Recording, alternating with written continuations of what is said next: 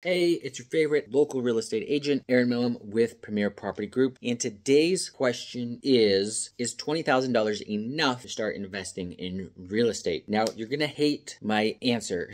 uh, yes and no. So, it really depends on the type of investing you want to do, what vehicle you want to use. The other thing is, if you don't know anybody and you're just trying to chase these companies that say, oh, you can invest with zero down and buy this program and do these things, um, yeah, probably not. Is it enough to do a ton of fixes on a home if you're fixing and flipping? No, it's not. That $20,000 is not going to take you far. However, if you have contacts and relationships where you can structure deals that make it where you have a low cash input, absolutely there are deals out there like that to be had. I just did a deal myself where I paid the owner $1,000 for his home. And because what's more important to me is to make sure I recoup the money first. This is you know, a, a very low reward flip. Uh, the way I structured it is I pay him $1,000 and then we'll split the proceeds after I've recovered all my expenses that I put into the home. So, how much money have I put into the home? It's about $22,000. So, could you do it for 20000 Absolutely, you can. 100%. However, the income on that is not going to be that great. So, depends on what you want, depends on what you're doing, and it depends on the people